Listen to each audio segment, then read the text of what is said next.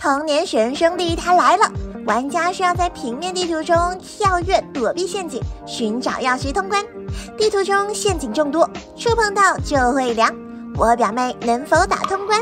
我肯定没问题啦！这些游戏我都通关好几轮了，带个拖油瓶也不是不可以。谁是拖油瓶还不好说，好不好？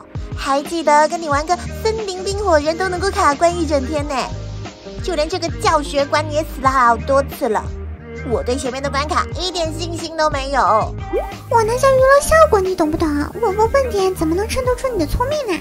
现在我要开始认真了，你就看我表演吧。你的认真不可信。嗯，这关的钥匙呢是被机关锁住了，我们需要先找到机关。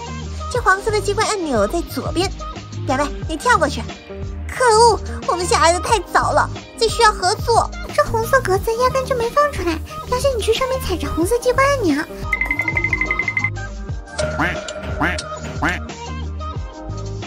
你踩着红色机关，这边的红色垫脚石就会开启。等我上去了，踩住橙色机关，你再下来拿钥匙。不错不错，思路清晰有条理。看来你确实是变聪明了。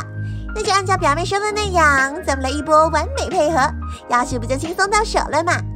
不过要是到手了，也还没结束呢。这底下还有俩岩浆陷阱呢。不说还好，一说我就猜到，差点当场交代过去。还好我皮厚扛住了。又是新的一关，在这一关咱们获得了能力觉醒，雪人兄弟诞生雪人之力啦，可以丢出雪球攻击敌人，冰冻敌人。老不小心失误，我也是服了。就不该让表妹打头阵，这磨磨唧唧的。咱们遇到怪物不要慌，丢出雪球冰冻它，只要冻住就不会对咱们造成伤害。冻住之后再一推，成功。小姐这里有个机关，底下的钥匙肯定和机关有关，我就吸取教训不下去了，在这里等着你，你加油哦！可恶，这里怎么会有一个怪物？太难缠了，就追着我打，而且冰冻技能只能冻住，不能杀死这种强大生物。但是只要能够拖延时间，让我们前往下一关就完全没问题。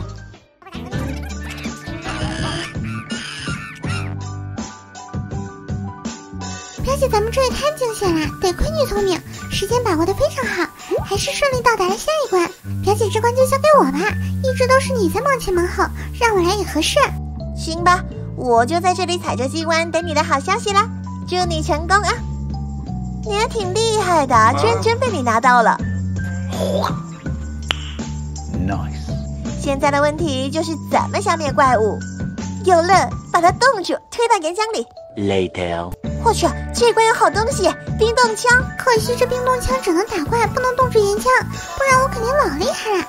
可算来到最后一关了，怎么什么都没有？难道是白嫖关卡？那我就不客气了。我去，手宝怪，咱们拿了神圣果之后触动了 BOSS 来打我们呢。但是我俩也不是吃素的，边走边躲避技能，边用冰冻枪打打打。还好这怪物的智商不高，只会乱飞放毒液。咱们成功了，游戏还得是经典呢。